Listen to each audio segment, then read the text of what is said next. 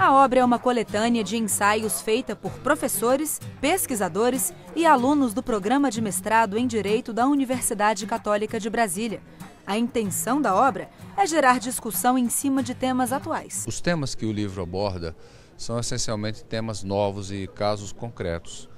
Então, na verdade, nós não pretendemos com o livro, de nenhuma forma, concluir nada. Nós queremos criar polêmica, levantar situações para que outros estudantes e pesquisadores de pós-graduação possam também se debruçar sobre o tema e opinar e tornar esses, esses temas mais dinâmicos e mais polêmicos. Os temas do livro aparentam ser muito diferentes uns dos outros, não é mesmo? Mas o que o organizador explica é que eles têm muito mais em comum do que se imagina. Dou um exemplo que é em relação ao meio ambiente. Então hoje a gente tem uma série de normas que são de proteção do meio ambiente.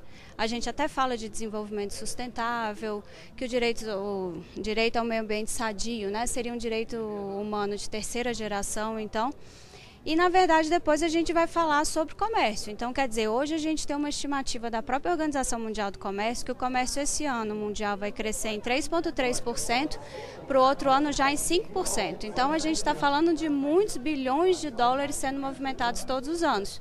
E o que, que a gente não consegue fazer essa ponte, então, é o seguinte: a maioria dos bens que eu comercializo, se não todos os bens que eu comercializo, eles são feitos de produtos naturais, eles têm insumos naturais. Então eu vou fazer extração de metais preciosos, eu vou fazer extração de outros materiais. No meu processo de produção, eu vou acabar jogando químico na, na água.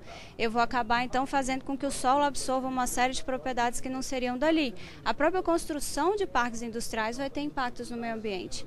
Então, a nossa ideia é tratar o seguinte: tanto um quanto o outro são imprescindíveis. Então, eu tenho que proteger o meio ambiente, porque, na verdade, a sadia qualidade do meio ambiente é indispensável para a saúde humana. E eu tenho também que permitir o comércio, porque o comércio vai dar para a gente o nosso direito ao desenvolvimento. O ministro Humberto Martins foi um dos presentes no lançamento. Ele explica que os temas abordados não interessam apenas a juristas. Essa obra é de grande relevância porque a própria Constituição Federal entre os princípios consagrados está a dignidade da pessoa humana. E os direitos humanos é de fundamental importância para a nossa vida diária, sobretudo com relação à liberdade, à dignidade da pessoa, os direitos sociais. E a pessoa humana deve ser respeitada como cidadão e, sobretudo, tendo a dignidade com relação às oportunidades na vida. E a obra também tem a contribuição dos servidores Marcelo Cruvinel e Joel Arruda.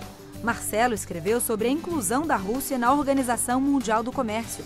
E Joel falou sobre a justiça transicional. Ele restaura a história do Brasil em relação à tortura. Quem tiver interesse, encontra o livro no site www.livrariadeplácido.com.br. Todos os livros lançados no Superior Tribunal de Justiça também são doados para a biblioteca.